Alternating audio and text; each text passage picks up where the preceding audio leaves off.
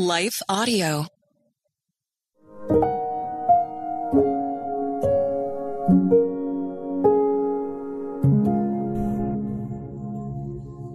Thank you for listening to Your Daily Prayer, a podcast dedicated to helping you find the words you need to connect with your Father in heaven. No matter what is going on in your life today, you can trust that God wants to hear from you. Right after this short word from our sponsor, we will pray through today's prayer together.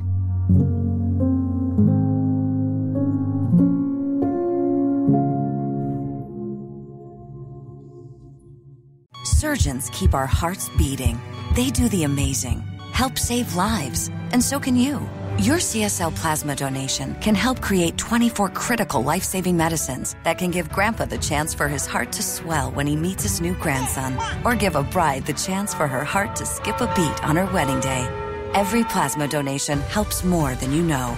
Do the amazing. Help save lives. Donate today at your local CSL Plasma Center and be rewarded for your generosity. Our world can feel chaotic and uncertain. But we don't have to live enslaved to fear. Christ has promised you and I his peace, and throughout Scripture, he has provided powerful truths and practical steps to help us experience greater freedom.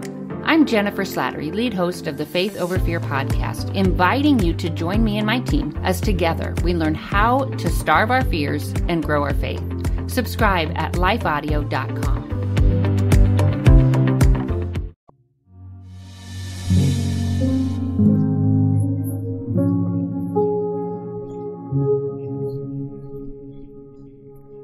prayer regarding fortitude, written and read by Jessica Van Roekel. Blessed are those whose strength is in you, in whose heart are the highways to Zion. As they go through the valley of Baca, they make it a place of springs. The early rain also covers it with pools. They go from strength to strength. Each one appears before God in Zion. Psalm 84, 5 through 7, ESV. Ever start January with resolutions all shiny and bright? Do you think this is the year I'm going to get it all together? And some of us work those goals like a bread maker kneading dough, but others, like myself, find those shiny resolutions dulling after a few days. I start out with energetic vigor, but lose it when the reality of the work involved smacks me in the face. I forget about the in between the time defined as the moments of putting words into actions and being intentional about my intentions. I've determined to exercise, eat right, and get enough sleep, but I make excuses and the dessert's too good to refuse. I've committed to weekly family nights, but busy schedules prevent them. I make goals for my spiritual walk too and determined to finally finish that one Bible study I started a few years ago. But I can't find the book. These resolutions and my inability to keep them leaves me feeling frustrated with myself, so I no longer make resolutions. But I do resolve to stay faithful to the Lord and trust that He will grow in me what He wants as I surrender to Him. This type of resolution needs fortitude undergirding it.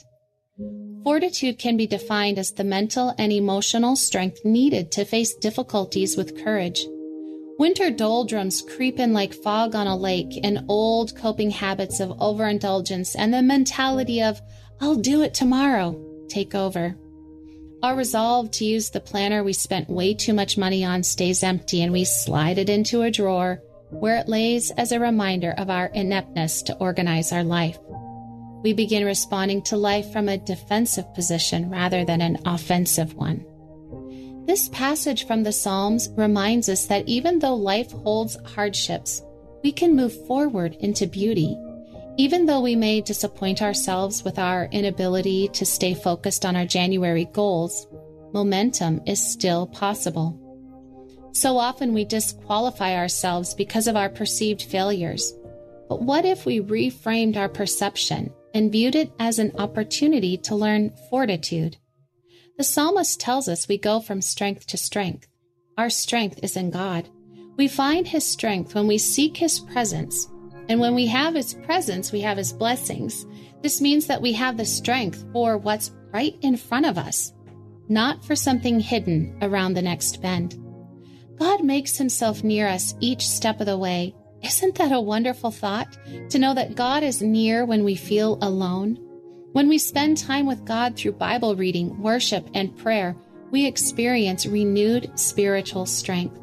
We can look at our valleys and see beauty for ashes because God makes it a place of growth. If you find yourself overwhelmed with the areas you want to improve in your life, lean into fortitude. Focus on receiving the strength you need from God by enjoying Him, by talking to Him, and by sharing your life with Him. He is your strength, and He provides the mental and emotional tenacity you need. Let's pray. Holy God, thank you for being my King of Kings and Lord of Lords. Great are you, Lord. You are my strength, and my heart is set on you. I know I will face situations where I will wonder if I'll make it to the other side. Help me to see the beauty you're making as I lean into you. Direct me as I go from strength to strength. Let the steps I take be guided by your hand, and let the words of my mouth bring you glory and honor. Thank you for making my valleys a place of growth. I trust you for fortitude. In Jesus' name, amen. Your Daily Prayer is a production of Life Audio and Salem Media. If you liked what you heard today, please take a second to rate and review this podcast in your favorite podcast app so that more listeners like you can find the show. For more faith filled, inspirational podcasts, visit us at lifeaudio.com.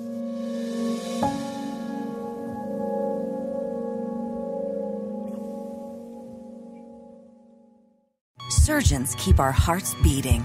They do the amazing, help save lives, and so can you. Your CSL plasma donation can help create 24 critical life saving medicines that can give Grandpa the chance for his heart to swell when he meets his new grandson, or give a bride the chance for her heart to skip a beat on her wedding day. Every plasma donation helps more than you know. Do the amazing. Help save lives. Donate today at your local CSL Plasma Center and be rewarded for your generosity.